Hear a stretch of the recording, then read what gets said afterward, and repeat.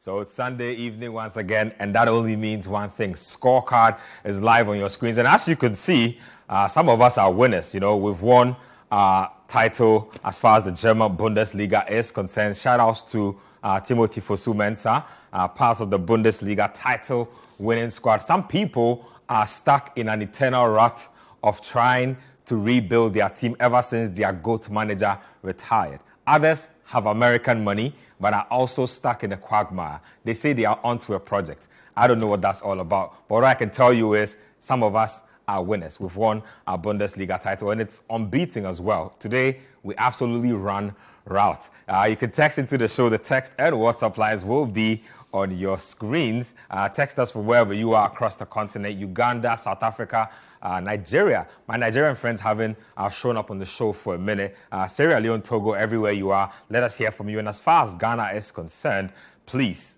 do uh, send in your messages from around uh, the country. We'll take a quick turn around. When we come back, I'll introduce my guest for today, and then we'll get to the show go.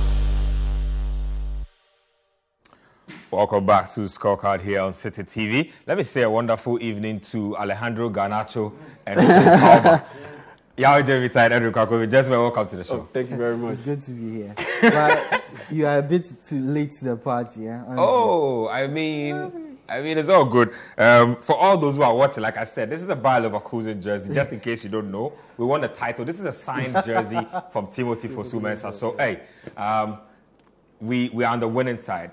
In Spain, things are happening for us as well. Uh, let me let me talk to Yaya and Edwin real quick. What's caught your eye as far as the weekend of sports is concerned? A lot has happened actually. Mm-hmm. Some we might not discuss on the show. For me, it's been NBA playoffs, yeah. um, especially. Um, watching Luka Doncic and Kyrie Irving do their thing. And then there was some boxing this weekend. Yeah. Uh, Vasyl Lomachenko, Lomachenko yeah. back in action. Uh, that was my toast of the weekend. Arda Güler getting a goal off the bench again for Real Madrid. I'm yeah. keeping an eye on that young man. I don't know what you guys have been up uh, yeah, um, I watched the bits and pieces of the Lomachenko fight. Um, I, I, I, honestly um, believe that it was going to be one-sided, and it mm-hmm. was one-sided. Mm-hmm. Uh, at the end of the day, uh, George Kambosos, he was overmatched. He was never going, ever going to um, trouble Vasily Lomachenko, who is a master technician. Yeah. Uh, it still beats, it still beats me my imagination how um, George Kambosos ended up beating Teofimo Lopez to uh, end up w- uh, winning all those um, light, uh, mm-hmm. lightweight um, mm-hmm. championship mm-hmm. belts. And it was just one of those days where it just happened. And ever since, um, he's gone up against the elite of the elite, and mm-hmm. he, he, he's not been able to um, stand in front of them, those guys, and even score major points. Um, hmm. He he fought against Devin Haney twice, and in both in both fights he got dominated. Well. And last night he got dominated as well by um, Lomachenko. And yes, one uh, thing that also caught my eye this weekend, it has to be the Man United game um, against Arsenal. And that utterly terrible performance from mm-hmm. Garnacho.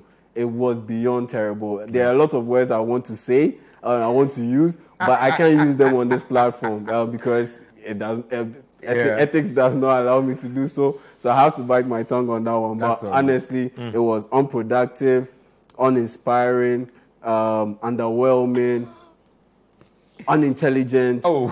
and flat out annoying. And flat out annoying. Oh, that performance bro. was beyond. This is you being diplomatic. yeah, that performance. I imagine the things you don't want that, to say. That performance was utterly terrible. Honestly, mm. poor, poor, poor performance. Edwin, what's been going on with you? Look, um, as you said, NBA has been fascinating yeah, to watch. The yeah. matchup between SGA and Kyrie and Doncic, yep. it's been really good. Some fascinating basketball. Yep.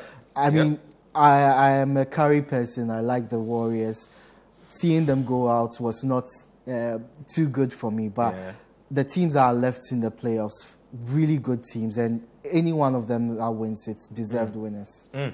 Well, the teams left in the playoff for me sort of signify what I would call a change of the mantle or a change of the guard in the NBA. You see Lillard, Curry, Giannis, LeBron, all those guys are out of the playoffs. Durant. And who's in the playoffs? Luka, Tatum, um, Tyrese Halliburton, yeah. Anthony Edwards. It's, it's, it's, it's been yeah. that kind of uh, postseason, really. So I'm enjoying it. Today there's a game between the Timberwolves and the Nuggets. It's game four, I believe. Uh, that, that should be a good one. After this show, I'm definitely going to be seated to be watching that. But let's get uh, into today's show. Enough of the chit chat. Let's get into the MTN FA Cup semi finals and let's get to the games that happened. In Nsoatreman were up against Legon Cities. Uh, in the end, Nsoatreman, led by Maxwell Konadu, were too good for Legon Cities. We'll check out that game also between Bofoakwa Tano and Dreams FC, who are the defending champions. Now, Dreams FC have been dumped out of the competition. So, Nsoatreman Football Club, led by Maxwell Konadu and Bofoakwa Tano, are through to the final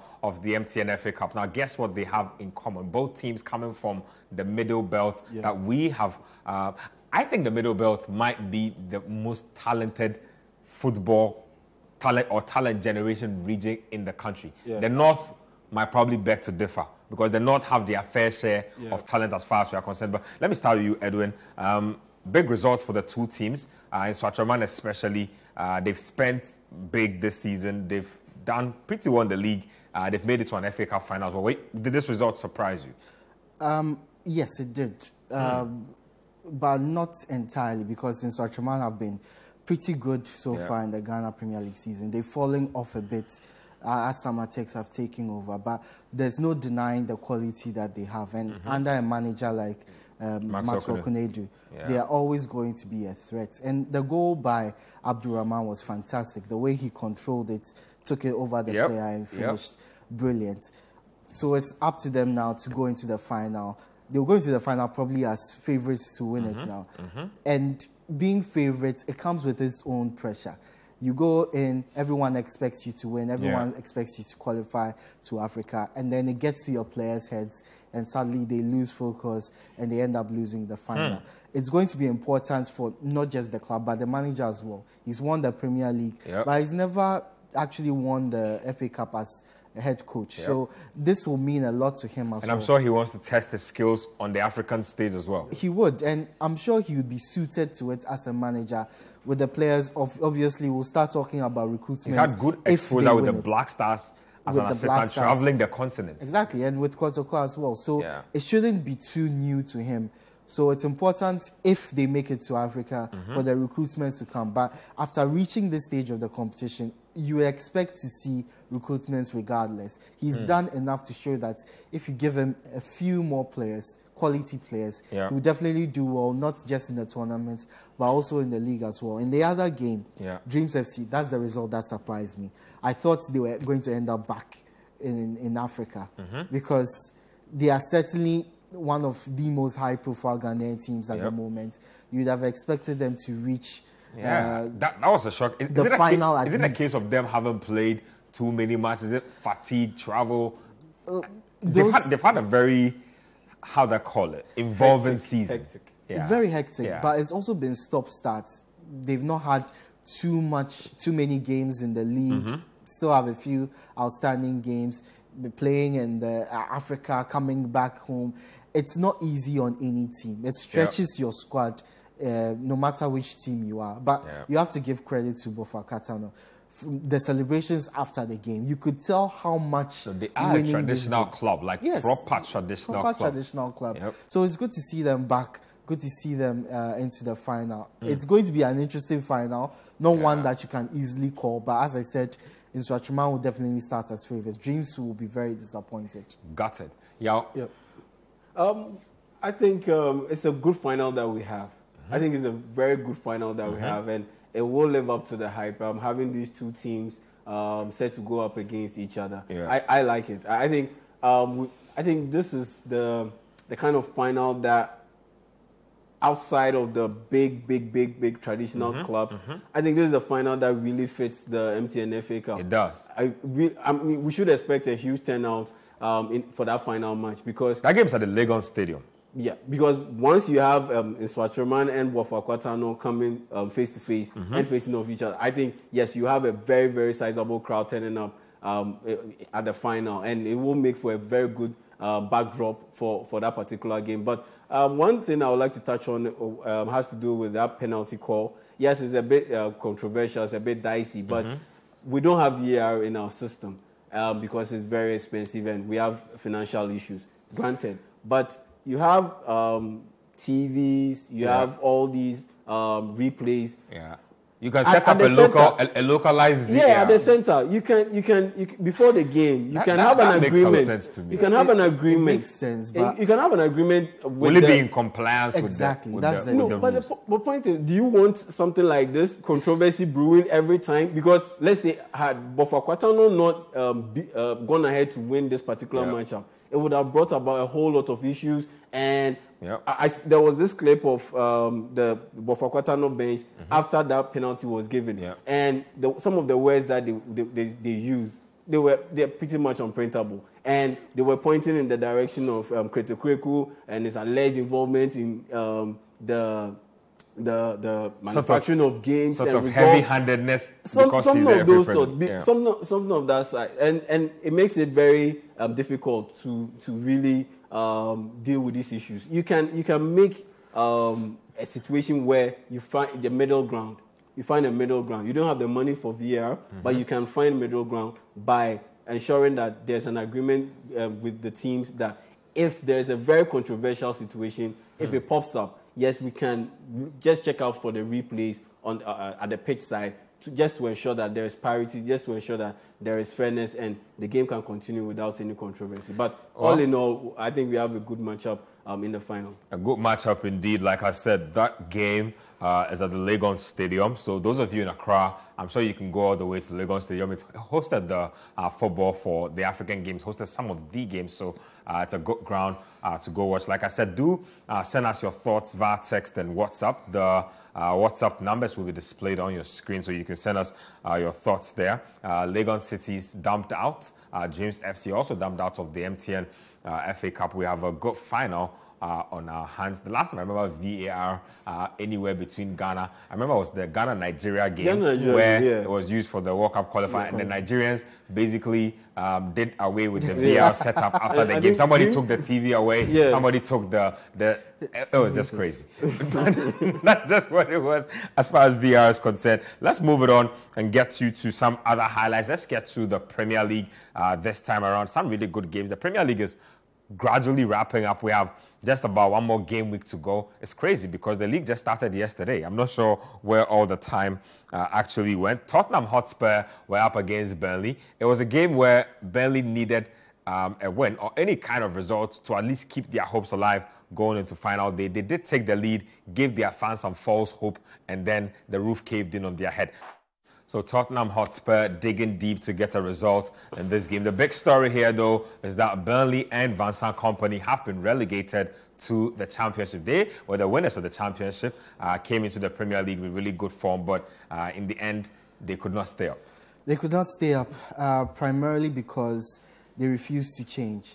And when they did change, it came too late for it to make a difference. Yeah. I think throughout the season, Vincent Kompany has stuck to his ways. Idealism over I, pragmatism. Exactly. Being an attacking team, trying to play out from the mm-hmm. back. And ultimately, that's what's cost them. They're trying to play out of, of, the back, even though they know there are teams, better teams in the Premier League, yeah. players who press really hard, players who will win the ball and take advantage of those opportunities. And throughout the game, even in this one that they lost against Spurs, we saw it again try to play out of the back. Yeah. Uh, one player loses the ball, Spurs have a chance to score. Hmm.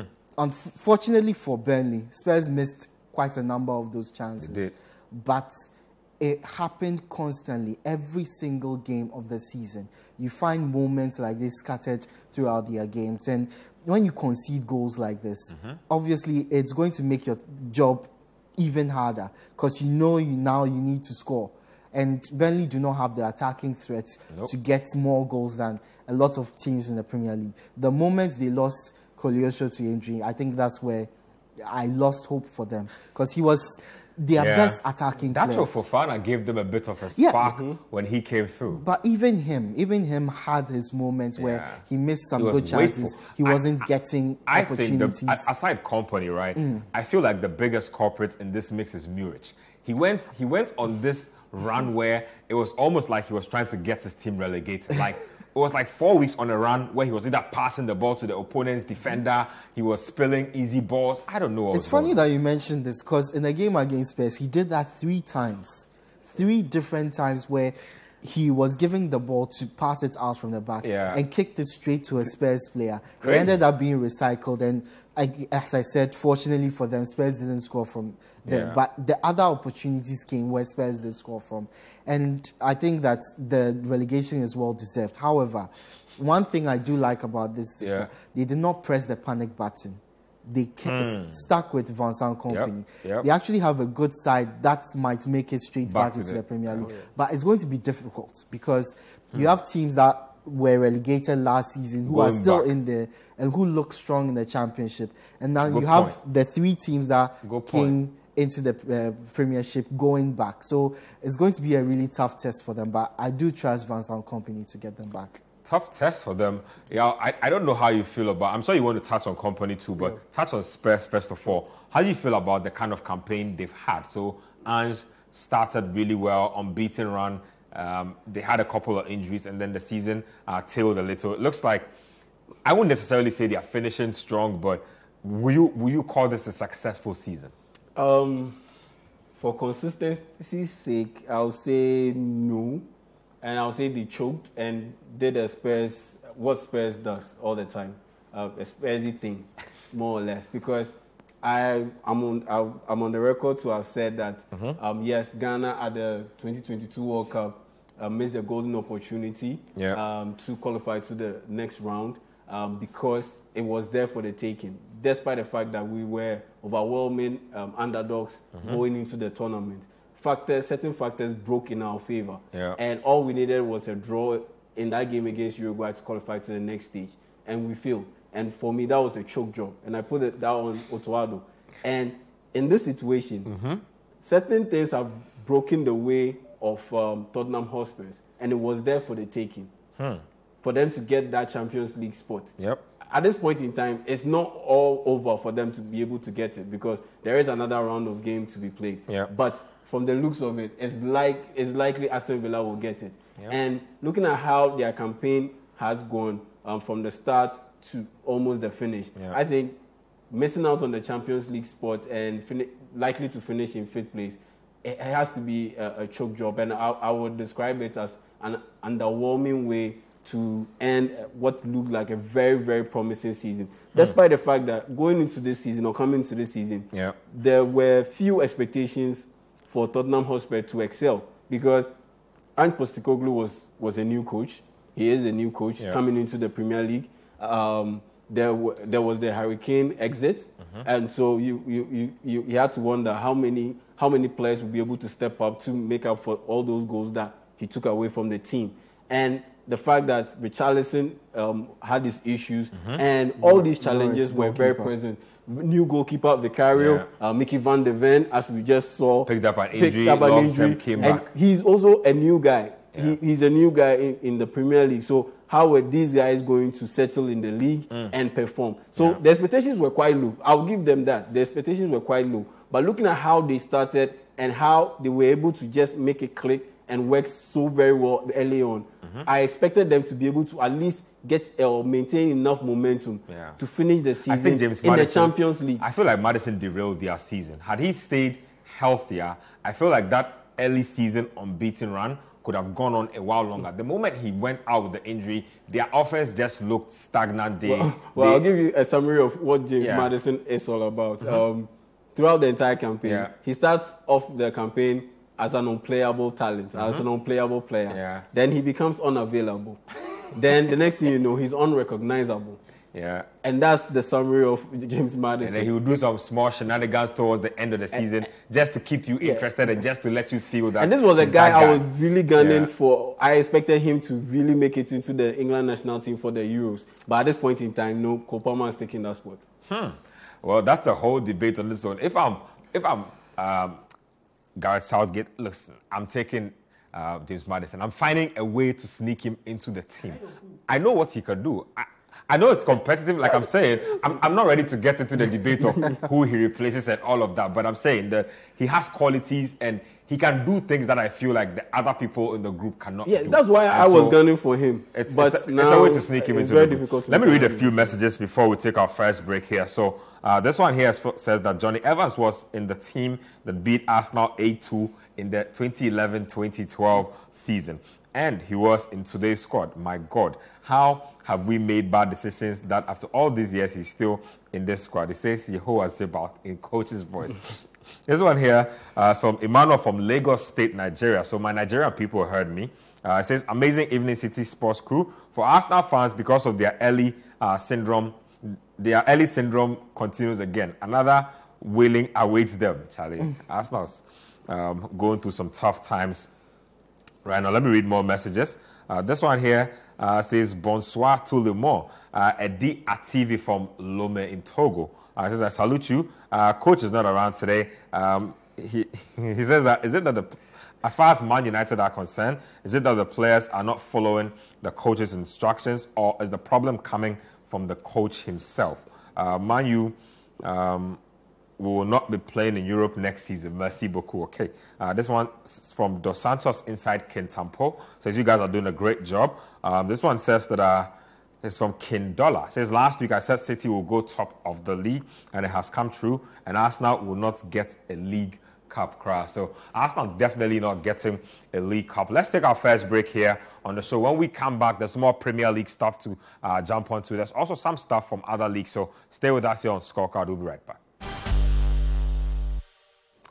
Welcome back to Scorecard here on Citi TV. We have just done one highlight from the Premier League. That was Tottenham and Burnley. Let's get to more highlights. Fulham were expected to do Arsenal a favour at Craven Cottage when Manchester City visited. Well, Manchester City had other ideas of their own. They completely ran route. They made it look easy. In the end, it was 4 0 to the citizens. In the end, it was light work for Manchester City. The hate watch was it was over before it really started. Anyway, um, it looks like Manchester City will walk away with this. Look, um, they are trying to get the job done as early as possible, even in the games that they play. So, mm. 10 to 15 minutes, yeah. if they don't score, they are very disappointed. And that's what they try to do every single game. So, this game was no different. The way they played, the way they moved the ball yeah. around the pitch to catch Fulham out was a thing of beauty. Mm. And one thing that will trouble Arsenal is the fact that it's not just the fact that City are winning their games. Mm-hmm it's how they are managing to win their games. Yeah, literally eroded their, that goal difference. Yeah, no, exactly. That's what I was going to talk about. They they are beating them into submission, as they did to Fulham in this game. And the fact is that they are getting a lot of yeah. uh, goals, a lot of assists, a lot of uh, you know uh, uh brilliant, play. brilliant play from different Unlikely sides sources. of the pitch. Gvardiol is delivering. Yeah. Kevin De Bruyne is delivering. Haaland has his moments. Yep. Bernardo Silva folding. It's not just one or two players. Yeah. So uh, earlier in the season, we were wondering when uh, Gundogan left, who is going to be their main man? If it's not Rodri, who is going to step mm -hmm. up? We've seen so many players step up. And as you said, they've eaten into Arsenal's goal difference. Now it's, after this game, it was yeah. three. It's yeah. three now. It's three now. Yeah, it was plus two. Arsenal, yeah, Arsenal, Arsenal, Arsenal won. Man United. Yeah. yeah. it's plus three now. So even if they draw against uh, Spurs, Spurs going into the last game of the season, they will just definitely fancy themselves to get a lot of goals against uh, an on vacation West Ham team. so yeah, the season is definitely shaping up to be uh, to turn into a really good title race at the end of the season. But it's a very good performance again from Manchester City and the players are really stepping up when it matters. Players stepping up indeed. I've heard some really funny stories out of England and some friends from London. Um, a friend told me that, look, Tottenham Hotspur are absolutely looking to get beaten by Manchester City and that they are in no mood to do Arsenal any favors. They're not going to watch Arsenal parade a Premier League trophy in London. It's not happening. As far as they are concerned, they say that they are losing that match to Manchester. I find I find that hilarious. No, it will be yeah. the most Tottenham thing if they actually manage to beat Man City and hand no, Arsenal for, the title. For, for real, for real. And I, I don't know, but yeah, do they have enough motivation to go out and win that game? I don't think so. Um, like I said earlier when talking about Spurs that they had their moments where things broke for them, mm-hmm. they um, not they're not competing in, in, the in the European scene, yeah. um, having a deep run, and uh, looking at where Aston Villa made their campaign to in the Conference League, mm-hmm. they were a bit distracted and they lost a lot of games in a couple of games in there, and it was there for the taking to make it to the Champions League spot sure. and have it all wrapped up. And they dropped it, and I don't think the motivation will be there because they know that yeah, at this point in time, we had our chances, we let it slip, and we just realistically, you just don't see Aston Villa slipping mm. up again yep. to avoid or missing out on that Champions League spot, and knowing very well that they are coming up against a very motivated Manchester City team. Mm. I don't think that, that they will overly extend themselves to potentially um, cause Man City to miss out on winning the, the title and hand pretty much hand the title to their very mm. much hated rivals in, in Arsenal, knowing very well that they have players in that team who are also in the in the running to be named in the squad in their national team squad yep. for, for the Euros. I don't think they they will overly commit themselves. Yeah, they'll be professional and know they'll compete, but yeah. I, I honestly don't see them as overly extending themselves to mm. ensure that yes they beat Manchester City. So yeah, those conspiracy theories. Yeah, there's a bit of uh, or element of truth in there, and mm. honestly, I wouldn't be surprised if Man City just walk in there, get a 2-0 win, and just wrap things up. Aye, Spurs behave yourself. I think they, they picked that point in the first leg, didn't they? Yeah, yeah they did. Yeah, they picked that point in the first leg. You've shown that you are capable of going toe to toe with this Manchester City team. I don't know, man, but I, I don't want Manchester City to win a fourth title. They like, will win it. Ah, the man. only thing which would have kept City from doing it is individualism, where players are seeking personal gain. Yeah. But we saw that Gvardiol was on a hat trick. Yeah, he gave the penalty to. It's like everybody, wake, everybody woke up like towards the business end of the season, and like it's like they were like yeah, and it happens every year. Like one player three, steps up. Yeah. Back in the day, um, you have Kevin De Bruyne mm-hmm. return from injury. He will step up. Yeah. Then for the past two seasons, it was um, Gundogan. Gundogan and Erling Haaland stepping up. Yeah. This season is is Gvardiol. Yeah. I mean, look at that finish. I, that's a very composed was finish. like moving crazy. I was, I was watching him on and the... And he scored with his, with his right foot. Twice now. Twice. I, I, was watching him on the flank and I was like, whoa. Because I said, I remember I said that Gvardiol was the best young defender in the world yeah. at the time Manchester City were buying him. But and he kind first, of underwhelmed you. Yeah, in, I think he heard your message. In the first couple of weeks, I was like, I, I, don't think you are playing like a seventy-five yeah. million pound defender. Well, Pep says they've signed the best winger in the world. So. no, it might as well be because the kind of stuff he's doing right now, really crazy. Manchester City um, just putting out a marker, putting the fear of God in Arsenal, really. Uh, let's get to more highlights. Let's get to the City ground. It was Nottingham Forest up against Chelsea Football Club. Nottingham Forest went into the game week um, expecting to be in some form of relegation battle, but the adversaries below them made sure that it was over before it really started. The game itself turned out to be a mere formality for them. Chelsea, though, are still chasing a ticket to Europe. Even Nicolas Jackson was decisive on the day, uh, just putting that near post header in. Edwin, quick thoughts on that game. Forest surviving um, despite a really shaky past couple of weeks. Chelsea chasing that European ticket. Look, um, against Everton and against West Ham, we saw Chelsea at their dominating best. Hmm. Against Spurs, we saw them at their efficient best. I think in this game, we saw them mentally wise at their best again. This is Chelsea. Uh, uh, this Chelsea team probably a few months ago would not have won this game. Hmm. They would have ended up losing it because they didn't have the mentality for it. Yep. And that's what positive results do. Once you start winning, once you yep. start playing yep. well, your players believe that there's every opportunity for them to win mm-hmm. every single mm-hmm. game. And even when they go down late in the game, yeah. they know they can come back. And we've seen that from Chelsea starting to score lots of goals, mm-hmm. players starting to play well, everybody starting to believe, even in the manager himself. So a couple of changes. Chelsea yeah. are 2-1 down. They go from 2-1 to 3-2 uh, up. And we see what a good bench does. There is the you can't blame all Chelsea's results on players not being available. Mm. But we can see what them being available can do to the team. You have players off the bench who can yeah. make a difference even when the talent on the pitch is not performing. So Pochettino earlier in the season couldn't mm-hmm. have brought on Sterling, Nkunku, Reece James. He would have been bringing on Gilchrist, Deivid Washington, Cesare Casadei. Oh, That's the man. difference. And that's that's like that's like day and night. Day and night. day and night. So you, you have to understand the manager. You have to understand the team when things aren't going well because there's not enough personnel to get things done. For Nottingham Forest, good for them to stay up in the Premier League, but they were helped by the fact that we've got three of the worst promoted teams ever in the Premier League. Yeah. Actually, it's a fact. They are the three worst promoted teams in the Premier League. Only managed 66 points. Some, some, one of the teams is pushing 100 goals conceded. Sheffield. Sheffield Sheffield United, they conceded Crazy. over 100 Over goals. 100.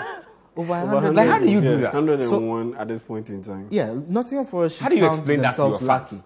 They need to count themselves very lucky because Yeah. they were helped by the fact that we got Burnley, Sheffield Yeah. United, and Luton, who have been really terrible throughout the season. So good for them that they stayed up, but Just- they need to uh, perform better Yeah, next season. just just to, to stay on you with the Forest bit, is Espirito Santo the guy to move forward with Forest because they've they had some stability with Steve Cooper.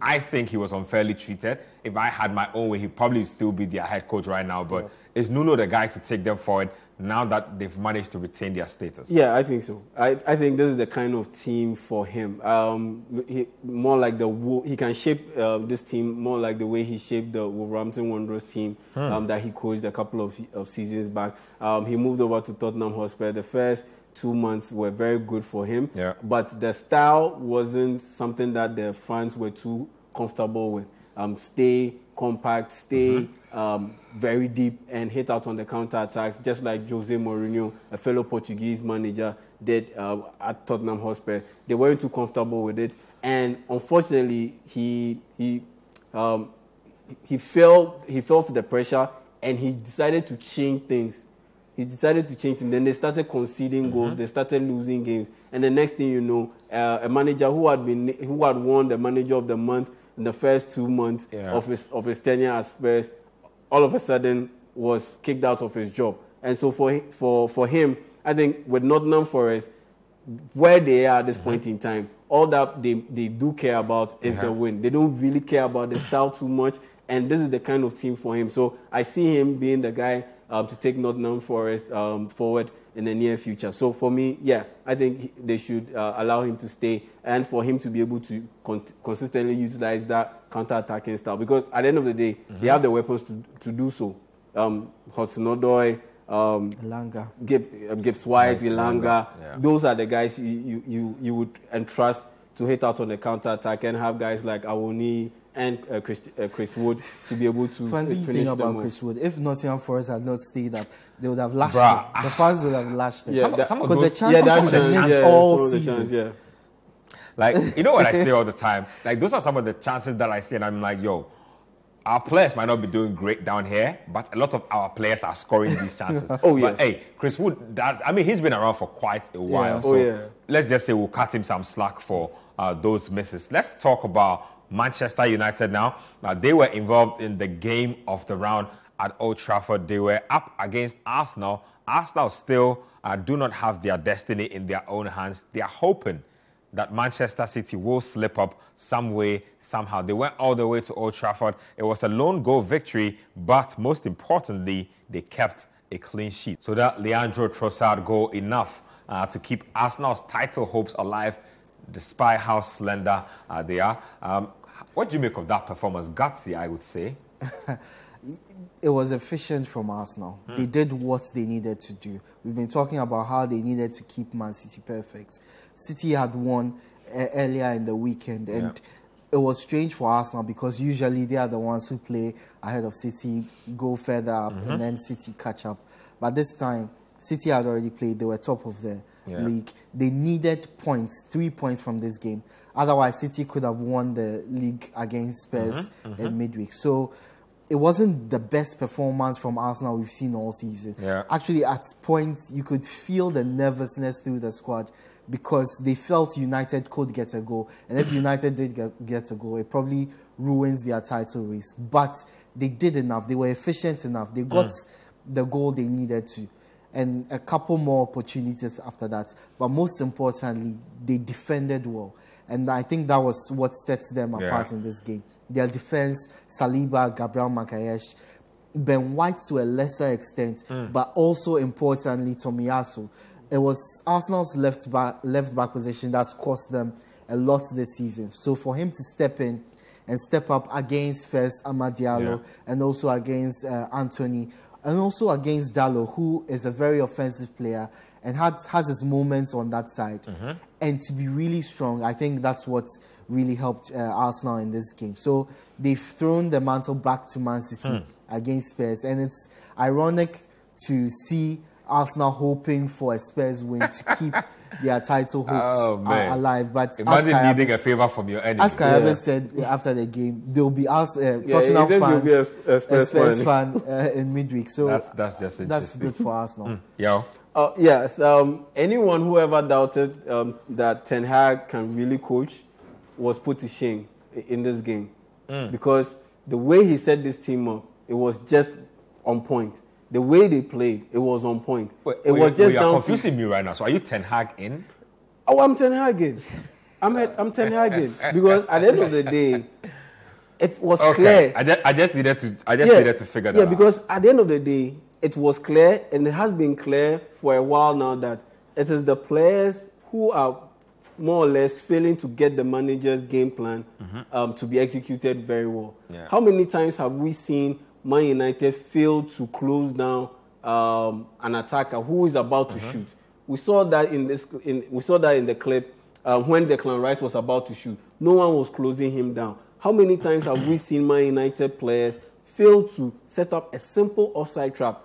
The goal that Leandro Trossard scored, Mm-hmm. simple ball that um, fell to Kai Havertz. Yep. It was down to Casemiro playing him on by a wide margin. Then he gets the ball, he moves the ball close to the Man United box, and Jonny Evans does the right thing by forcing him to go to his right foot, which is his weaker foot. But look at the distance between Jonny Evans and Kai Havertz. It was way too much. And it gave him the time to really set his body up Yep, very well. simple cutback. And uh, deliver a cutback. Then th- that's not even the worst part of it. Wan-Bissaka, he's just looking at the ball, and Leandro Trossard runs from behind, and he's able to tuck the ball into the net ahead of ahead of a slide tackle. Very very poor um, defensive organization. That is not on the coach. That is definitely on the players. Then you also have this funny situation that happened in the game where 85% of Man United's attack was down the, the, the left side, where Garnacho was as inefficient as you would ever, ever see. But Amad Diallo, who was on the other side and delivered an efficient performance, he wasn't getting a lot of the balls, which was very strange to me. Yeah. Because this guy was wasting all the chances. Garnacho was wasting all the chances. Man United had very, very good chances in that game. Unfortunately, the clip didn't do justice to uh, the, the, the, the way Man United played in this game. it didn't do justice at all. But at the end of the day, Yeah. if, if you wanted to see Ten Hag really coach, yes, you had to see this game. You had to watch it live, and you walk out of the, out, out from that game mhm. knowing very well that Man United have a very good manager. You, no one can convince me that as a, at the end of last season, the the verdict on him was a resounding yes. We have our manager. Then mm. in the space of six months, all of a sudden, he's so bad that everyone wants him gone. No, no one can convince me that this guy all of a sudden can't coach. What he did this afternoon shows that he can coach because on the bench, shaking his head. he was on the bench. He was on the bench. All they had was Antony Oh, and Christian Eriksen and a bunch of kindergarten kids. There was nothing for him to work with, and he he was able to deliver Yeah. a very very good performance hmm. against potentially the league champions. I mean, I'd say this, right? If you've gone through the sequence where you've gotten hammered by Crystal Palace the way you've done, um, I think they lost the week after as well. They've just been all over the place. So if you have any pride left in you as a person, you're going to go out there and salvage some pride. I, I, I don't know how much of that. I mean, you yourself were complaining about how Ten Hag left Garnacho in this game, but again, you say he coached a good game. So um, I, I, I want to believe for you that's maybe like a seven over ten or eight over ten type of performance because Yeah. it wasn't flawless. But yeah, Garnacho, he ha- they didn't have too many options. Be- Like I said, he had Yeah. just Antony Yeah. and Christian Eriksen, and unfortunately, I was vouching for him to take off Garnacho and Mm-hmm. replace him with Antony. But Amad Diallo also got injured, and Fair, that forced fair. him to replace Amad Diallo with Antony. I just I just wonder what will change at United come next season because they have a new sporting director in place. They are sort of reconstructing their. They, they need back, to sign defenders. Their backroom stuff. I, I hope they don't take any more suggestions from Erik Ten Hag because clearly uh, he's out of his depth as far as that's concerned. Look, uh, one of the texters said was speaking about Evans being there from 2012 yeah, all the yeah. way to now. Luka Modric has been at Real Madrid from 2012 all the way to now. Yep. It's not about the how long the player has been nope, there. it's about the But the, if the, they become your primary person in that role, that's when it becomes a problem. Modric is not the primary midfielder at Real, at Real Madrid. Madrid. Yeah. Even if there are a couple of injuries to Real Madrid players, he's still not going to be a primary because Camavinga, Tchouameni, Valverde, Kroos, even Bellingham, yeah, even Cruz, Kroos. yeah. There are so many players who could fit in, and that is what sets uh, yeah. Madrid situation. But Man United are making they are giving John Evans starter minutes, like major starter minutes, minutes, as a starter. That's, that's kind of crazy. And, and, and, just a quick one. Uh, lots of people are gunning for Man United to go out and splash money on mm-hmm. attacking players, you know, creative midfielders, a strike, another striker to, yeah. to compete with uh, Rasmus Højlund. That's all well and good, but they should look at how Man City and Arsenal have built their, their teams over the years. Mm-hmm. By proper defenders. Defensive solidity. Defensive solidity. Arsenal have gone throughout this campaign without pretty, with, without pretty much a, a recognizable striker. Mm. And yet they have 27 league wins. 27 league wins. That's more than mm. the Invincibles recorded during yeah. their era. That Invincibles trophy had like 2 billion draws. We'll talk about it on another day. But let's take our second uh, break here on the show. When we come back, we have some action from the Spanish La Liga. We'll also bring you some action from the Bundesliga. If we have time, we'll touch on some NBA playoffs before we run out. Welcome back to Scorecard here on Citi TV. Let me read a couple of your messages that have been coming through before we get into uh, the final part of the show. This one here is from Kweku from La Paz. He says, Not so fast, Manchester City supporters. There will be a harm done to Manchester City on Tuesday. Uh, this one here uh, says, Good evening, Ben and your crew. I don't know why coach is not here today. Anyways, congratulations to my darling club, Arsenal. We are now at the mercy of Tottenham and West Ham. Uh, now it's well. Dominic Baron watching from Abuja, Nigeria. So Dominic coming through from Abuja. Uh, Gausu from Alajo says that, uh, good evening, Citi Sports crew. Uh, you guys are doing fantastic, especially in the Premier League. Arsenal um, have, done, have done really well. Sorry about that. Uh, this one's from Bebatov. Wow. Bebatov says that uh, if Tottenham win against City on Tuesday, um, I will rename my girlfriend from Sidat to Spurs. Hey, Charlie, boys for cool down. Oh. hold on, hold on. I, I think let me let me just get this again. He says, if Tottenham win against Manchester City on Tuesday, I will rename or I'll give my girlfriend the nickname, or I'll change my girlfriend's nickname from Sidat to Spurs, and I'll follow up to marry her the next season. Okay. Okay. Skinunu from Dwyer Quanta says that Chelsea FC uh, will be a difficult team to beat next season if Nicolas Jackson is replaced with a clinical player or better still improves as a player.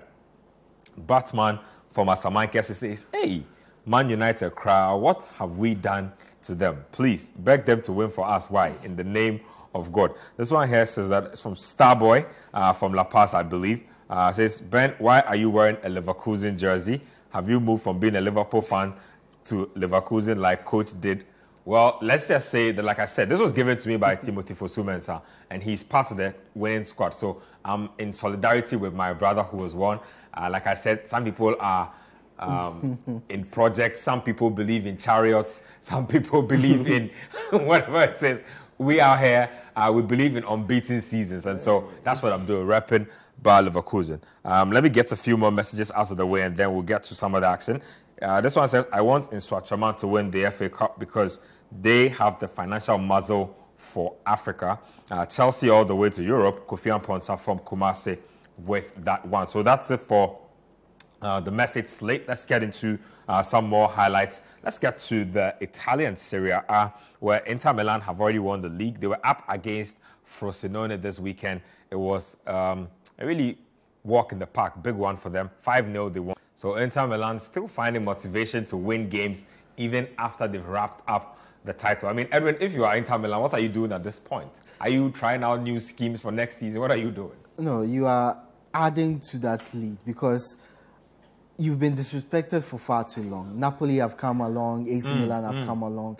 Everyone has disrespected you. So it's important for them to win the league at Put the counter. exclamation on it. Exactly. Put the exclamation point. Show everyone you are outright yeah. the best team in Italy. And they've done it throughout the season. Yep. They were even able to win this game convincingly with Lautaro Martinez off the bench. And he's been probably the best forward in the in the Serie A this season. Uh-huh. So it was important for them to get this win and show everyone that even though uh, the league is done, even though there seems to be no motivation, yeah. they can still turn up the style. And they were able to give a few players some minutes, get them scoring, get them into yeah. good form. We saw Arnautovic get onto the score sheet. He is playing for a future uh, Inter Milan. So it was good I'm to see. I'm surprised Arnautovic is still playing at the top yeah. level, like yeah. at a team like Inter Milan by this time. That shows exactly my point. Going back to Man United, even if you are an old player, experienced, a yeah. veteran, in the right team, in the right circumstances, with the right structure sure. around sure. you, you can still deliver. Hmm. I, I just for Inter, I just love the fact that um, they they get value for money, and I think it, it even goes beyond Inter. I think it's an Italian thing uh, with the league because they they um, they because of the money. Issue, because of the financial issues, yeah. they've had to really, really dig deep really into scouting. Into scouting. Mm-hmm. I, I, don't know so much about analytics, but I think with their scouting, they've got it down to a T. Yeah. And they, they know how to approach players and sign players on a free. So, for instance, you look at um, someone like Marcus Thuram. He came mm-hmm. on a free transfer. AC Milan have been do, making a killing out of those free transfers. And loan deals, too. Yep. Yep. And, and, on top of that, you look at AS Roma. Evan Ndicka was available. And them out for free. It came for free, and I was surprised teams teams didn't approach and get and get him signed. They are not scouting. And, and exactly, it's, it's back to scouting. And for the Italian league, I think let's say Erik Ten Hag, Man United does the unthinkable, in my view, and they sack Erik Ten Hag. I think the Italian league represents the league that has two of the best uh, replacements for him. Mm. One, Simone Inzaghi, and two, Thiago Motta with Bologna. I mean, if you've been able to get Bologna to qualify to the Champions League, yep. then you must be really doing something good. And mm. yeah, he is a possible um, candidate to replace um, Erik Ten Hag. In my view, that is if uh, Man United let Erik Ten Hag go. Hmm. Let's get to another game. Really, Napoli have had a torrid season from winning the title to basically looking unrecognizable. Uh, let's get to that one. It was against Bologna, and Yao was just talking about them. Thiago Motta's Bologna. Once upon a time, played for Barcelona, played for Inter Milan. These days, uh, he's doing really big things as far as the coaching world is concerned. He's qualified his team to uh, the Champions League. So those are the uh, main actors in the Bologna movie. So you have Thiago Motta, the head coach. You have a guy like Orsolini, the left-footed guy. Uh, Ferguson. Um, you have um, Odegaard, Saelemaekers. Uh, from AC, on loan from AC Milan. Yeah, AC Milan. Yeah, so very good. Zirkzee, Zirkzee, who, Dutch he international. Came, he came through from Bayern Munich too. Yeah, big, big uh, he's what six foot five. I think a lot of teams are after him. Dutch international. He's cooled off a little towards the end of the campaign, but he was really instrumental for them. Just quick thoughts on Bologna. Quickly for Bologna, it's not about the goals they've scored. They've actually scored 51, mm. which is fewer than Roma, fewer than Atalanta, fewer than even Napoli. Mm. It's the goals they've not conceded, and I think so far this season they've conceded 27. Ooh. That's second only to Inter Milan, who are the champions. So they've been really defensive solidity, astute defensively, and that's what's carried them uh, to where they are this season. Then they've been fantastic. Hmm. Yeah, quick thoughts on Napoli. Yeah, I think this is their third coach of the season. Yeah. They started out with Rudi Garcia, they went, went to Walter, Walter Mazzarri. I don't know what they were thinking, really. I'm not sure what they were thinking.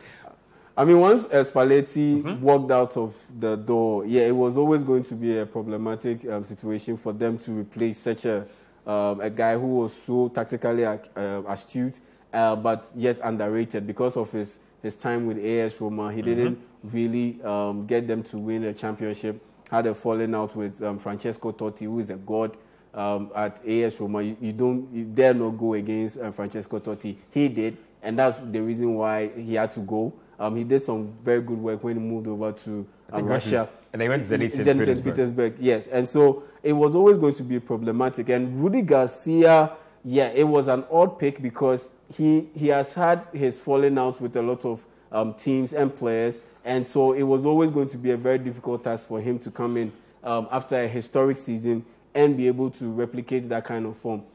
I think they needed someone who, who had a bit of an elderly um, touch, um, someone like uh, maybe a Rafa Benitez um, to come in there and, and get the job done. Uh, because at the end of the day, he had he had coached the team before, Yep. and so I think that they needed someone like that. But once they got that Rudi Garcia pick wrong, I think it just set them set them up for failure this season. They had to get the coach right, Mm. but once they didn't get it right, yeah, it set them up for failure. Man United have been dealing with this Yeah. since um, Alex Ferguson walked out of the window, uh, out of the door. Mm. Once they didn't get his direct replacement right, yeah, it set them up And for it's his fault. He chose his direct replacement. He's he's to blame for all the things United But are they, they could have through they right could now. have pushed back a little bit. Well, he's like you said. Somebody is a god. Ferguson Exactly. is a god at Manchester. Manchester pushing United. back Then, then, then, then you need to support him with, with, with right players. I mean, the only player he got in his They- first they transfer hired my was, good friend- was Fellaini. Fellaini. They hired my I good friend. They hired my good friend David Moyes and then left him out in the cold. Let me throw this question to both of you. So now Napoli are at the crossroads because they've not been able to uphold the standards of last season. Yeah. No Champions League football for them. What do they do with their two budding stars? Do they do they Sell, sell. do they break it up Sell, and, sell. And, and sell? Look, um, the news is that Napoli expects Osimhen to leave, so he's not staying Hmm. no matter what. The Kvaratskhelia. the re- release clause is 120 million euros. Chelsea I think, paying it? Yeah, Chelsea can't pay this money and get him into Hmm. their squad.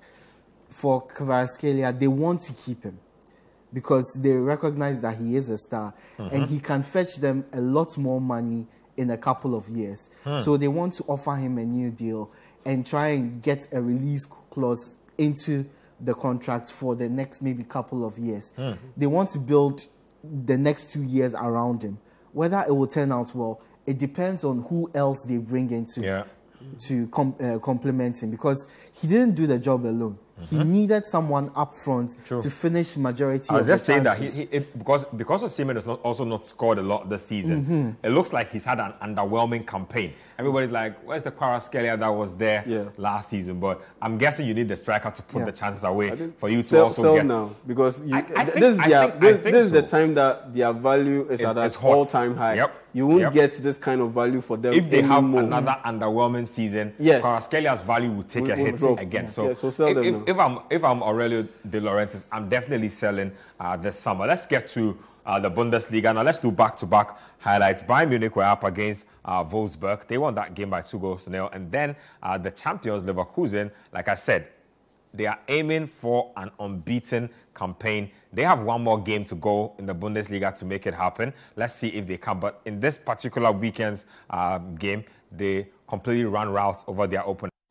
So right now, um, Bayer Leverkusen have completed their um, quest. They are just doing side missions, you know, completing a lot of side missions as the season goes along. Unbeaten still on the cards. Yeah, last week we were talking about them having five games to go until they finish their season unbeaten. Mm-hmm. And in midweek, they produced classic by Leverkusen with a 97th minute I'm sure the fans, the fans themselves are tired from like the adrenaline. we are all the tired. Oh, we are all tired because when it gets to that period, you sense that they are going to get. We need to see the the Super Cup. They need to win the Europa League so we can see a Super Cup between themselves and Real Madrid. If Real Madrid win, an unstoppable force Yeah. meets an immovable object. Yes. We'll see what- That- that's literally the best description for it. Really, I mean, yeah, I'll just snap Yeah. us on that. Oh yeah, for Bayer Leverkusen, um, they they were onto something the moment they signed Nathan Tella for like 20 million euros Mm-hmm.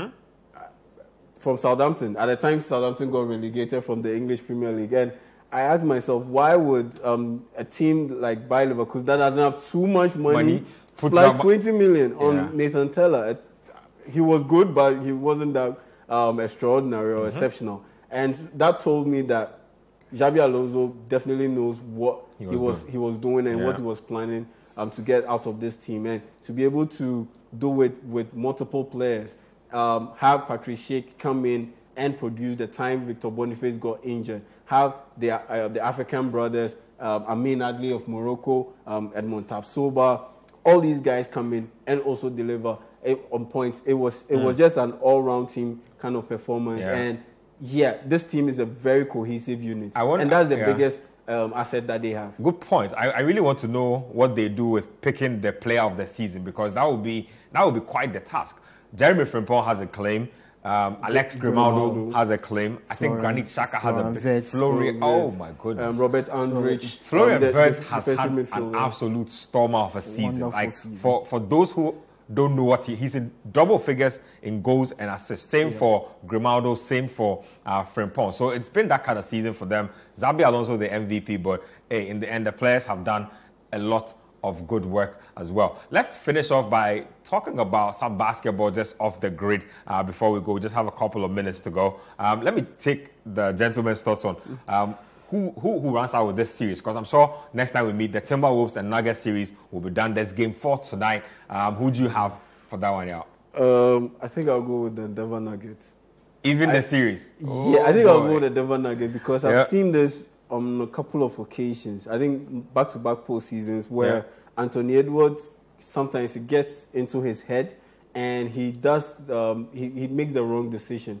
Um, last season in that crucial playoff um, series, he went in for a steal when there was no need for him to go in for a steal, and there was a game-winning shot um, against Minnesota, and that was the, that was it for Minnesota. Uh, in another instance, um, he went to play the help defense when there was no need to play help defense, and he left his man open, and the, his man buried the, the, the jump shot, and it was curtains for Minnesota.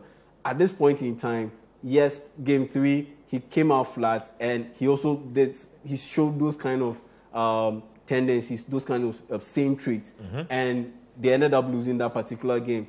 If he doesn't check that overly um, enthusiastic bit about himself, where he's he wants to overly do things and doesn't just um, stay Play within the, the stay structure within of the, the game. structure of the game, stay within the game plan, stay within the flow of the game, and try to do a little bit too much. That's when it will end up costing his team um, and and end up giving the, the Denver Nuggets just that needed juice that they, they need to be able to finish off the series. So yeah, I, I think Anthony Edwards is just not there yet. He's an exciting prospect. If he can get this done, Hmm. yes, then definitely he is the next face of the NBA. And I definitely see them um, going to the NBA Finals with the Boston Celtics. But um, if they can't get it done, then it's, it's the Denver Nuggets uh, again. So yeah, there's a bit of a caveat there, but I'm leaning I'm leaning towards the Denver Nuggets. So I'm, Anyway. I'm not going to go against Joke the Joker. I mean, he's been fantastic. Did you have the same stance before the last game? I mean, were you one of those people who were thinking the Nuggets are in trouble?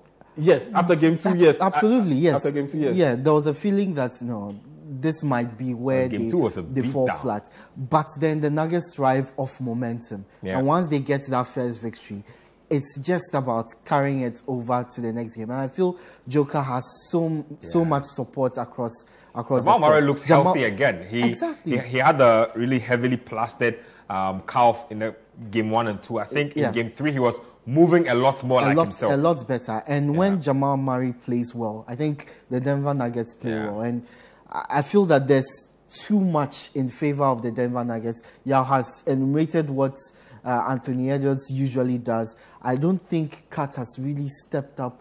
Karl It- yes, he's yeah. not really stepped up in this series. Ant has for- been leading, so he's been happy to be back, Yeah. Robin, like just playing the, the backup guy. But I- he, he's been decent. Yeah. He's not been extraordinary. he's not been extraordinary, Yeah. but I feel the winner of the, the, the This NBA series. title is going to come from the West. Hmm. The West is so much stronger than the East True. at the moment. True. Fine. Boston Celtics are way above every single other team in yeah. the East, and they almost certainly will get to the finals. Yep. But you look at the options we have in the West uh, Dallas Mavericks, OKC. OKC, and the Denver Nuggets. Yeah, the Timberwolves. Yeah. Yeah. I mean, you know what's crazy? Uh, In the East, right? I feel like if the Knicks had a fully healthy roster, the Celtics would be in trouble because the Knicks, the Knicks are not star-studded, but they have a lot of dogs on their team. They they play so tough. They basically knock you off your rhythm. But And- they don't have size. They don't have size. That's, That's- why that's honestly, but the Can Celtics have all lost significant size in Porzingis as well. Yes, Yeah. they have. but they have more size than Knicks, than the Knicks. And I, honestly, that's why I believe that um, in the after this season, Yeah. they should make a run for a guy like Karl-Anthony Towns. They Hmm, should New York? because Yeah, New York Knicks. Yes, because he fits um, in, in, in, in that space where they really But need Towns, help. Towns has only been playing defense this series, and you know how Thibs is. Thibs is a defense first guy. Yeah, if you're going to come in and come and play only offense, you'll probably be on the bench. But they, he's, he's worked with um, Karl T- Anthony Towns before during Mm-hmm. his time with the, as the head coach of the Minnesota Timberwolves when Jimmy Butler was around. true, true, and so he has a kind of a, a feel- Relationship. yeah, a relationship with, with Karl-Anthony Towns. And he gives them what they really, really need, which is Yeah. um, a scoring big man. At this point in time, that is what the New York Knicks need. Hmm. They don't need Julius Randle, who is six foot seven, pounding would, the I ball. would have traded Julius Randle light years ago. I'm not even sure he's still doing on pounding the ball inside the paint for what? God knows, 10 seconds, 8 seconds. They, that's what they need. They need a kick out option who is a big man. Hmm. Yeah. And Karl-Anthony Towns fits that model because at the end of the day, they will play defense with um, Donte DiVincenzo and Oh, Josh Hart.